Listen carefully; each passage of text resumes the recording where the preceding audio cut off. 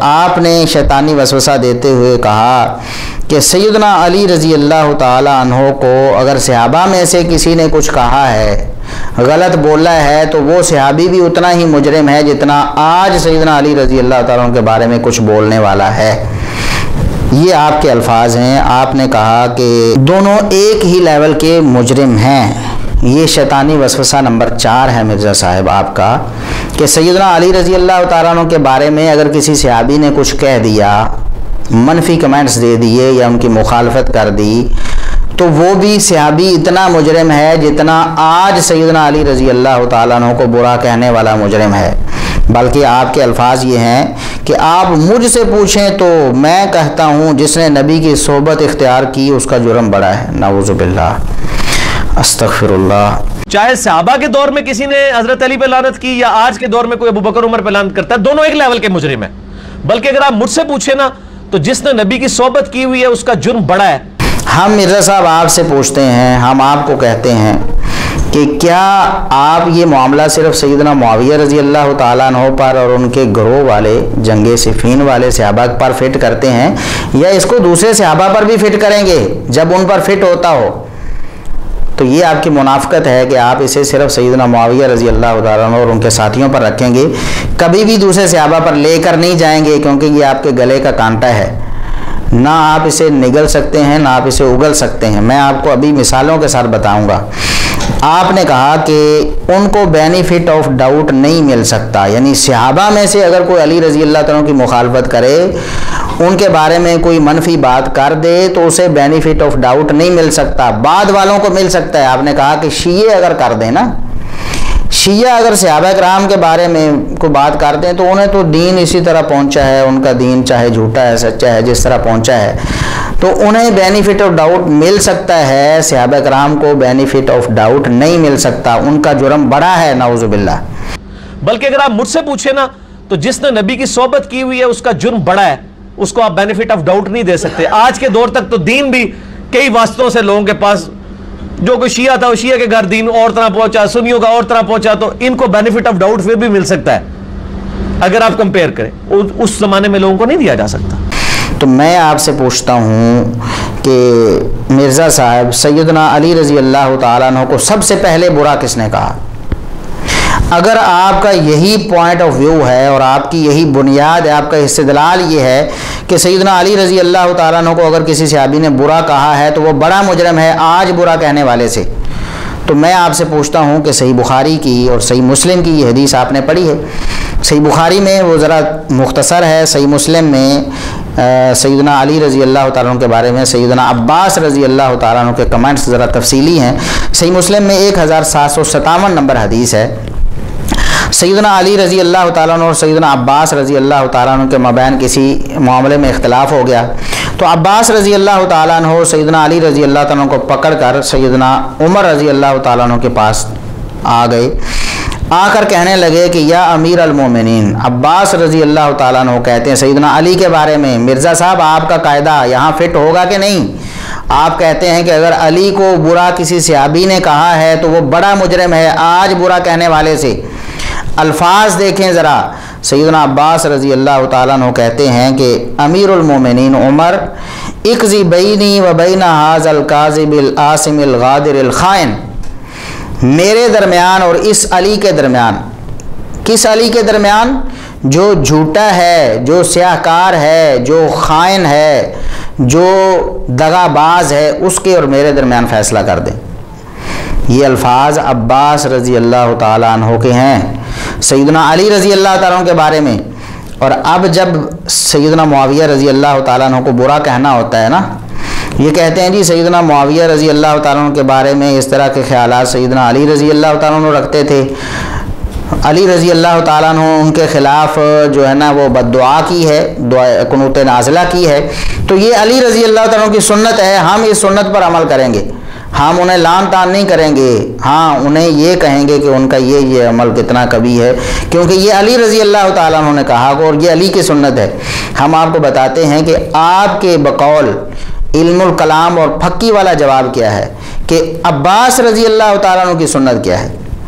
اہل بیت میں سے جو فرد ہیں عباس رضی اللہ تعالیٰ عنہ، ان کی سنت کیا ہے؟ آپ کے نزدیک تو یہ بھی سنت ہوگی نا، ہم تو اسے مشاجرات صحابہ کہہ کر خاموش ہو جاتے ہیں۔ صحابہ کرام کا آپس کا معاملہ تھا، ان سے جو بھی غلطی اور کوتاہی ہوگی اللہ نے معاف کر دی۔ ہم اس پر نہ کوئی منفی تبصرہ کرتے ہیں، نہ اپنے دل میں کوئی ملال رکھتے ہیں اس حوالے سے۔ لیکن آپ کا چونکہ منج جی یہ ہے کہ غلطیوں کو ہائی لائٹ کرنا، غلطیوں کو اچھالنا، آپ کے نزدیک یہ عین ایمان ہے تو ہم آپ سے پوچھتے ہیں۔ کہ سیدنا عباس رضی اللہ تعالیٰ عنہ کی سنت پھر کیا ہے؟ عباس رضی اللہ تعالیٰ عنہ نے چار فتوے داغے ہیں سیدنا علی رضی اللہ تعالیٰ عنہ پر۔ کہتے ہیں کہ علی جھوٹے بھی ہیں، علی سیاہکار بھی ہیں، علی خیانت کرنے والے بھی ہیں، علی دگا باز بھی ہیں۔ تو اب اگر کوئی ناسبی اس حدیث کو بیان کر کے نعوذ باللہ استغفر اللہ دیکھیں جی علی رضی اللہ تعالیٰ کا کردار کیسا تھا، عباس نے کیسا بیان کیا ہے، یہ ہم اگر علی کے بارے میں، رضی اللہ عنہ کے بارے میں کہتے ہیں تو ہم تو صحابہ کی سنت پر عمل کرتے ہیں، ہم تو اہل بیت کی سنت پر عمل کرتے ہیں۔ اور پھر جب مرزا صاحب اس طرح کی باتیں سیدنا معاویہ رضی اللہ تعالیٰ کے بارے میں نقل کر رہے ہوتے ہیں نا، ہم انہیں سمجھاتے ہیں اللہ کے بندو، یہ مشاجرات صحابہ کا مسئلہ ہے، اسے نہ ڈسکس کرو۔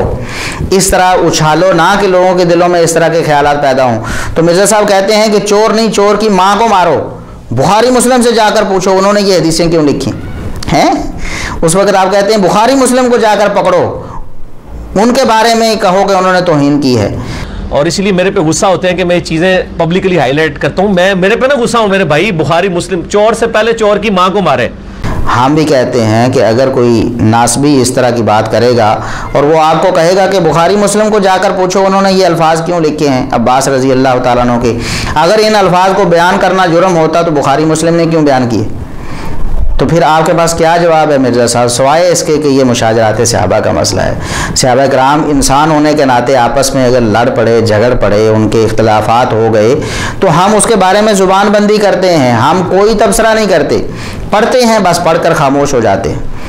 رضی اللہ عنہ برضو عنہ۔ سیدنا عباس سے بھی اللہ راضی ہو گیا، سیدنا علی سے بھی اللہ راضی ہو گیا۔ ہم سب سے راضی ہو گئے۔ ہمارا کسی کے بارے میں کوئی رنج، کوئی ملال نہیں ہے۔ لیکن آپ کی منطق کے مطابق، جو آپ کی آئیڈیالوجی ہے نا، کہ صحابہ اکرام کے جو اختلافات ہیں، ان کو اچھالنا چاہیے۔ تو پھر اس کا آپ کیا جواب دیں؟ کہتے ہیں جی عباس تو چچا تھے جی انہوں نے ایسا کہہ دیا۔ چچا تو بڑا ہوتا ہے نا، بڑا شخص کسی چھوٹے کے بارے میں کو اس طرح کے کمنٹس، خصوصاً اس طرح کی کہ یہ جھوٹا ہے، خائن ہے دگا باز ہے سیاکار ہے، اس طرح کے کمنٹس بڑے سوچ کر اور بڑی انتہائی ناگزیر صورت میں دیتا ہے۔ ورنہ بڑے تو وسعت قلبی والے ہوتے ہیں نا، وہ چھوٹوں کو درگزر کرتے ہیں۔ چھوٹوں کے بارے میں ایسی باتیں نہیں عموماً کرتے۔ ہاں بھائی بھائی کے بارے میں ایسی باتیں جلدی کر دیتا ہے، کیونکہ برابر کے جو ہوتے ہیں۔ تو علی معاویہ تو بھائی بھائی تھے نا۔ بھائیوں نے آپس میں ایک دوسرے سے کوئی اس طرح کی بات کی ہے تو اس کو آپ اچھالتے ہیں۔ تو چچا نے کی ہے تو یہ کہہ کر ٹالنے کی کوشش کرتے تھے، چچا تھے جی کر دی۔ کیا کر دی؟ کچھ چھوٹی سی بات کی ہے؟ کہا ہے کہ یہ جھوٹے ہیں علی رضی اللہ تعالیٰ معاذ اللہ، یہ سیاہکار ہیں، یہ خائن ہیں، یہ دگا باز ہیں۔